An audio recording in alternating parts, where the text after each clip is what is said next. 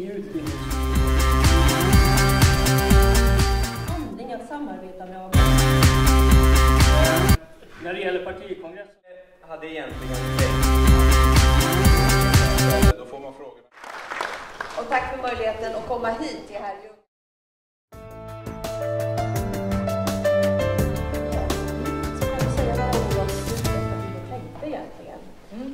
Det var en, eh, en väldigt bra diskussion på partistyrelsen igår. Jag tror det var, du räknade 40 inlägg. Ja, för jag hade pratat länge när Stefan sa att det var 21 inlägg kvar. Eh, men det var en väldigt bra diskussion. Eh, nästan alla, alltså nästan alla var med i. Men det var en respektfull diskussion, för det är klart att vi kommer från olika utgångspunkter i den här debatten. Men jag tror ändå något som är väldigt tydligt som förenar alla socialdemokrater, det är att vi, vi vill använda skattepengar på ett bra sätt när skattepengar tas ut till jättestora vinster, som man har fått vinster genom att sänka kvalitetskraven och så när dessutom de vinsterna sen skeppas ut till något skatteparadis och inte betalas skatt på, det är, liksom, det är helt oacceptabelt. Och här finns en väldigt tydlig gemensam bas för alla oss socialdemokrater. Hur man ska komma åt de här avarterna finns det sen olika förslag och idéer på. Det är klart att det finns en liksom grundläggande skillnad mellan en del som tycker att man helt ska, det finns en del som man helt ska förbjuda i det närmaste helt ska förbjuda eh, privata företag överhuvudtaget i de här sektorerna. Jag respekt för den åsikten. Andra vill att man tror att man blir effektivast och gör någon form av vinstbegränsning. Och sen finns det andra som tror att det finns alltså vinstbegränsning i form av liksom en lagstiftning på hur många procent vinst man får ta ut. Medan andra tror att det är ganska ihåligt och att man istället ska gå, eh, gå igenom och titta på tydligare på vilka, vilka kriterier som ska gälla för vilken kvalitet man ska hålla i. Nu blev det ett beslut igår som utgår från attackera problemet utifrån en rad olika utgångspunkter. Eh, som jag tror i det samlade paketet verkligen kan ha en stor effekt. Det som kom ut först är ju förslaget om att det ska vara väldigt tydlig redovisning ner på enhetsnivå, vilka pengar som kommer in och vilka pengar som går ut. Jag tror att det på riktigt kan ha väldigt stor effekt och kanske större effekt än vad man, som har synts hittills efter att Stefan eh, var ute med det förslaget. För det är klart att då kommer man kunna se vilka pengar har kommit in till den skolan där mina barn går och hur mycket pengar har man spenderat i den skolan. Då kommer man ju, se, då kommer man ju se tydligt om det är så att, att det kommer in mycket mer pengar än det spenderas. Ja, men då har de, vart har de pengarna tagit vägen? Ibland har de kunnat ta vägen till en vinst. Ibland har de kunnat komma tagit vägen till att man startar upp en skola i någon annan kommun. För så är det ju också. Att, att, att de facto att skattepengar från en kommun och så gör skolan vinst där och så startar man upp en, en skola i en annan kommun. Vissa skattebetalares pengar går över till en annan kommun. Det kommer i alla fall vara tydligt i den här, eh, det, efter det här, om det här förslaget skulle bli verklighet. Andra del där är att det ska vara tydligt att det ska finnas en meddelarfrihet. Det är ju faktiskt, här har regeringen släppt ben efter sig och verkar inte vara intresserad av att det ska vara tydlig meddelarfrihet i all skattefinansierad verksamhet. Eh, det, det är helt obegripligt. Men det är en del. Eh, en viktig del sen är ju att man ska ha tydligare kvalitetskrav. Exakt vad det ska vara för krav, det måste man naturligtvis utreda för det är ju ganska delikat. Men något som man har exemplifierat med är ju Ehm, är ju personalkostnader eller personaltäthet. I Norge har de en lagstiftning kring personalkostnader, att i de privata barnomsorgen i Norge får man inte avvika från den kommunala i den kommunen för mycket vad gäller personalkostnad. Det kan vara ett sätt att göra det på. Men det får man naturligtvis titta på exakt hur en sån lagstiftning ska, ska gå till. Men det innebär att det ska inte, då blir det inte längre möjligt att göra en stor, en stor vinst på bekostnad av att man har dragit ner rejält på, på så att säga, kvalitetsviktiga eh, saker. Alltså man ska inte kunna göra stor vinst i en skola genom att ha färre lärare eller stor vinst i äldreomsorgen genom att vara, vara för, för lite personal där. Det är några viktiga delar i det här, i det här förslaget. Men det är, ett samlat, det är ett samlat paket där jag tror de här olika delarna tillsammans kan, kan ha stor verkan. Och i det också naturligtvis att det ska ställas högre krav på vilka som kan, vilka som kan vara utförare i de här sektorerna i friskolesystemet. Och där ska vi också komma ihåg friskolesystemet. Vi har haft en majoritet i riksdagen emot oss i hela friskolefrågan under de senaste 15 åren. Där de borgerliga partierna tillsammans med Miljöpartiet har drivit en oerhört låt gå-linje som har varit eh, svår att försvara, eh, eller för dem, vi behöver inte försvara men Jag förstår inte riktigt varför man har drivit en sån låt-gå-linje. Ett år, var det, ett räckte det i princip att fylla i en blankett för att man skulle få starta en skola. nu är det tuffare krav än så. Men här tycker vi att man kan ställa betydligt högre krav. Men herregud, ska man starta en skola kanske man ska ha någon form av pedagogisk kompetens i ledningen för det bolaget. Det är ett rimligt krav. Eller menar, skolan är en långsiktig verksamhet än om man går i skolan, grundskolan i nio år, då kan man inte ha en ägare som vill göra en stor vinst på tre, fyra år för att sedan sälja det vidare. Det är ju helt oacceptabelt. Liksom man har någon form av långsiktighet, långsiktig plan man ska kunna starta en skola. Men också att man ska inte vara säker på om man säljer den att, att, att så att säga, den nya ägaren får ett tillstånd. Utan man måste vara varje ägare som prövas om man är tillräckligt seriös för att kunna få starta en verksamhet. Jag kan ge ett exempel från eh, Vårgårda kommun eh, där vi precis alldeles nyligen i kommunstyrelsen har röstat emot att ett eh, företag ska få bedriva pedagogisk omsorg, det vill säga dagbarnvårdarverksamhet hos oss. Vi blev nedröstade av Alliansen. Där har alltså kvalitetskrav nu tagits fram utav kommunen som, som också eh, just nu tagna. Då. Men det här företaget har, som heter Strömslott AB, ni känner säkert igen det från andra delar av Västsverige, har redan bedrivit en verksamhet. Vi vet att deras pengar går, till deras, deras vinst, det går till deras fickor så att säga. Så att vad, på vilket sätt kan det hjälpa att vi vet att om du gör en vinst på ett företag som går till privata personers fickor, räcker det med detta att man har kvalitetskrav? För här kommer det inte att räcka för att stoppa verksamheten som man har sett till exempel i Uddevalla kommun att den på sina håll är väldigt undermålig. Kan man ändå komma åt dem enbart med kvalitetskrav utan att stoppa deras möjligheter att ta vinst? om det är så att man lyckas, det är också något viktigt att titta på, kanske inte men det är också viktigt inom skolan att vi tittar på hur ser ersättningssystemet hur ser ersättningssystemen ut? För där är ju också på skolan, är väldigt, på skolans område är det väldigt tydligt att man kan du får genomsnittet av kostnaden i kommunen fastän du kanske bara lockar till dig de barnen som, som inte är så resurskrävande. Där behöver man ju också se över hur resursfördelningssystemet ser ut. Kommunernas verksamheter har ju ansvar sen i slutändan för att ta hand om barn om skolan skulle lägga ner. Det bör kanske kommunerna få en ersättning för. Så att de därför ska ha lite högre ersättning i ett resursfördelningssystem. Det behöver också ses ut. Finns det någon garanti för att man inte kan göra vinst i det här? Nej, det gör det naturligtvis inte. Utan om det är så att företag fortsätter att göra vinst, då måste naturligtvis se över och, och, fortsätta arbeta med förslagen. Det kan man göra på olika sätt. Är det återigen det resursfördelningssystemet som är fel? Eh, jag tror i och för sig att de här öppna böckerna kan ha stor betydelse, för då ser man ju hur stora vinster man gör på den enskilda enheten. Då kanske man som förälder blir lite funderar på om det är där man vill ha sina barn. Eh, eller också ta en diskussion om, ursäkta, varför får mitt barn inte de resurs, extra resurser som det behöver om det visar sig att man delar ut en vinst? Det är ju väldigt stor argument, tyngd argumenten till brukarna om man ser exakt vilka pengar som går in och exakt vilka pengar som går ut. Men det är klart att om det är så att några gör en mycket hög vinst och har en hög kvalitet, ja, då gör vi de saker på något bra sätt som andra kan lära sig av. Och sen kan, blir det liksom bättre verk, ska det kunna bli bättre. Är det mera frågor? Ja. Varsågod, du pratar högt. Jag pratar högt, ja. Var det någon som sov eller? Jo, alltså att ge sig in på, att diskutera det här med, med ekonomi, det är kanske inte vanligt man knappt kan hålla reda på när man har sin egen plånbok. Men jag tar risken, jag valde att leva farligt. Jo, jag funderar på lite grann det här med räntepolitiken. Va?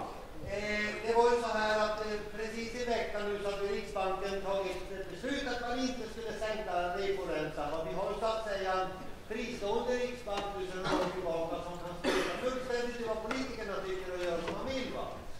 Eh, och så får eh, chefen där då frågan liksom om det inte vore läge att sänka nu när eh, när man ser att arbetslösheten kommer att öka för att stimulera ekonomin och så vidare. Då säger han bara, ja det är inte vårt ansvar att ta, eh, ta ansvar för arbetslösheten och sånt. Vi ska bara se till att vi, att vi inte ska få för högt eh, ränteläge i Sverige för inflation. Va? Och så har man målet här 2 procent i snitt på världens femårsperiod. Och det har visat sig under de senaste fem åren, tror jag, en eller två månader, vi har legat någon tiondel över 2 procent. Annars ligger vi kring 1 procent. Hur ser du på det här med Riksbanken och generellt och räntepolitiken? För det förstör ju mycket av politikernas möjligheter att sätta in åtgärder. Va?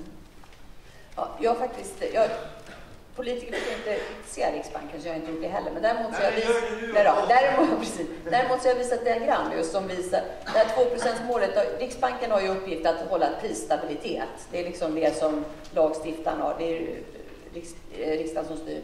Eh, har sagt att det är deras uppgift att hålla prisstabilitet och sen har Riksbanken själva definierat prisstabilitet som att det ska vara i genomsnitt 2 eh, Eh, i genomsnitt 2% Men när man tittar på hur det har sett ut under de senaste 15 åren så har det varit i genomsnitt 1,5 procent. Så de har misslyckats med att nå, uppnå sitt mål och det har jag varit ganska tydlig med och sagt. De har inte lyckats. Vad det betyder för räntebesluten idag, där har vi en självständig riksbank och det, får de, det måste de bestämma. Men något som är olyckligt är att det blir lite av en pingpongmatch mellan Riksbanken och Finansdepartementet där Riksbanken säger att vi vågar inte sänka mer därför vi är oroliga för hushållens skuldsättning och där behövs det mer regleringar. Eh, och sen har eh, Finansinspektionen och regeringen varit kanske lite senfärdiga med att göra den typen av regleringar och sen har det blivit liksom en ping, pingismatch däremellan. Det vi ser nu är det med bolånetaket som man ju i och för sig, jag tror många inte är så förtjusta i, så har vi ändå sett efter bolånetaket som innebär att man får inte låna till mer än 85 procent när man köper en bostad av bostadens värde. Så, så har det ändå så att säga, hushållens skuldsättning har inte fortsatt att öka. Även om vi har en, vi har en av Europas högsta skuldsättning bland hushållen.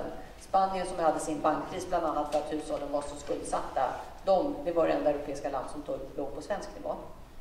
Eh, så att vi har en hög eh, skuldsättning som faktiskt är, eh, är oroande. Men den har i alla fall inte fortsatt att öka sedan vi fick bolånetaket.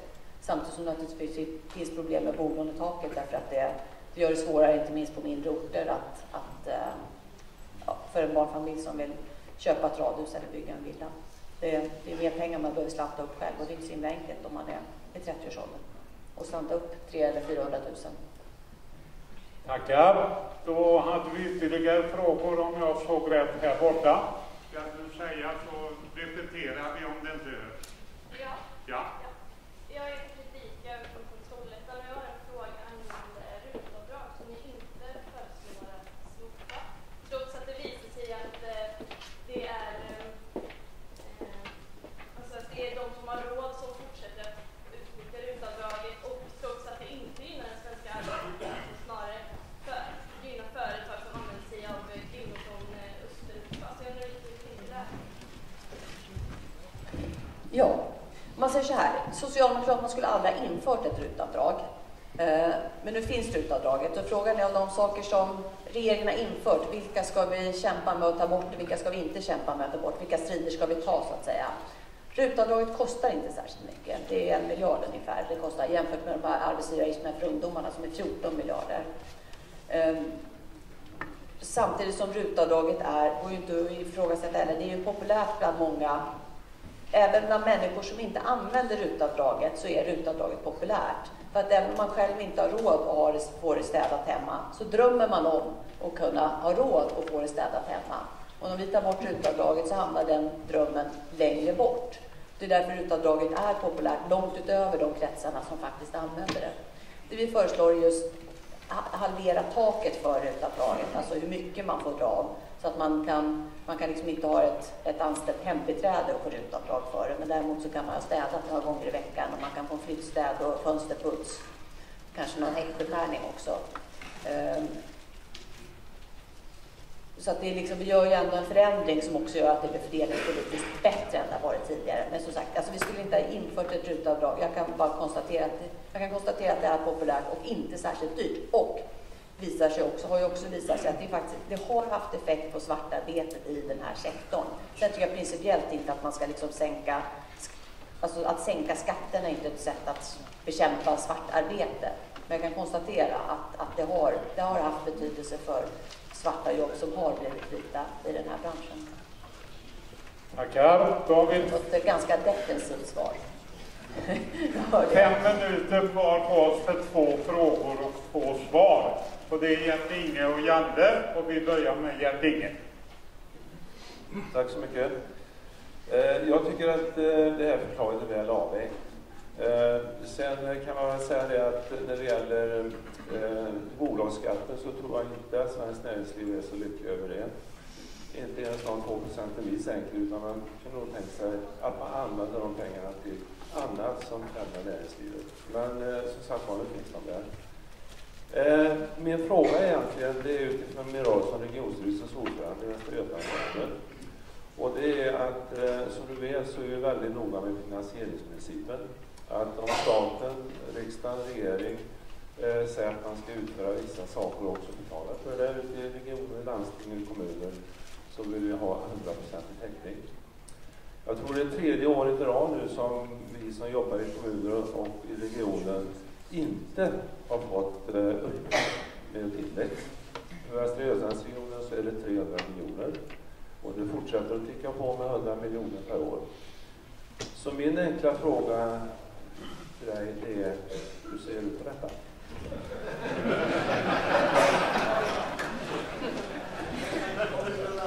Ja, jag ska inte lova någonting. Men jag kan konstatera att historiskt så har ju socialdemokratiska regeringar varit mer intresserade av att höja statsbidragen till kommuner och landsting än vad borgerliga regeringar har varit. Och jag tror inte att vi har ändrat en sån prioritering. Däremot så ska jag säga att vi har ju dessutom mer pengar i vår budget, inte till landstingen, men, men vi har ju mer pengar till kommunerna i vår budget för att vi satsar. Däremot så att, så säga att generellt, att gå fram med generellt höjda statsbidrag i opposition är, tror jag inte är så opportunistiskt. Eh, det är svårt att, argumentera hem generellt höjda statsbidrag när man är i opposition. Eh, det är bättre politik att föra om man skulle vinna valet. Jag kan säga så utan att lova någonting.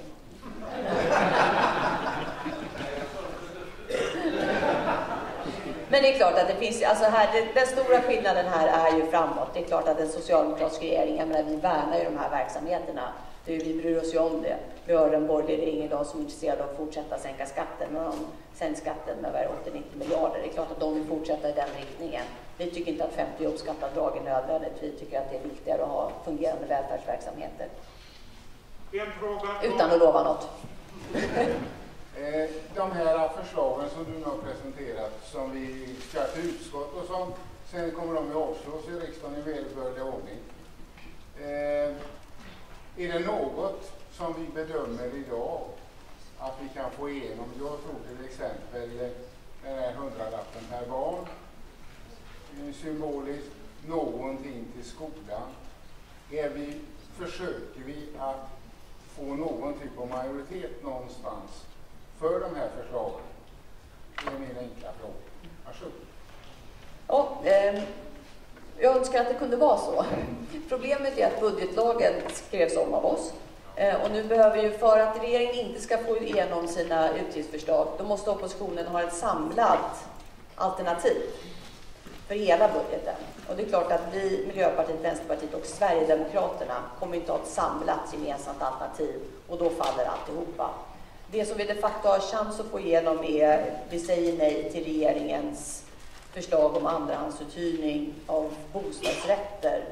Där det är ett framhafsat förslag som inte riktigt har tagit hänsyn till hur det funkar i en bostadsrättsförening. Därför det kan bli så att det jättemånga lägenheter uthyrda och så sitter de här två få som fortfarande bor kvar i sina egna lägenheter, tar de allt ansvar för liksom. Och, vår höst och vårstädning och allting som man behöver sköta i en, en bostadsrättsförening. Eh, där är regeringen lite konstigt stoppat in det i budgeten, så det tror jag att vi kan plocka ut och rösta ner. Men i övrigt så, så kommer det bli nedröstat. Fram till 2014. Då var eh, frågestunden slut. Jag skulle dock själv vilja avsluta med ett litet citat från gårdagens Aftonbladet som fortfarande har vissa ljusa punkter. Och eh, då var det en intervju med Ulf Lundell.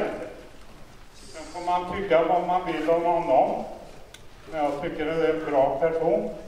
Och då säger han bland annat, när varken folk eller folkvalda har någonting att sätta emot banker och ekonomister, då kommer det förr eller senare att gå åt fanders. Det skrivs hemligheter, men det får man inte säga. Så jag valde att säga åt fanders. Vi lever i marknadens anarki och har gjort så ett bra tag. Och jag är beredd att hålla med ganska mycket. Sen får var och en tycka som den vill. Tack så mycket Magdalena och du får också den här berömda gässeosten.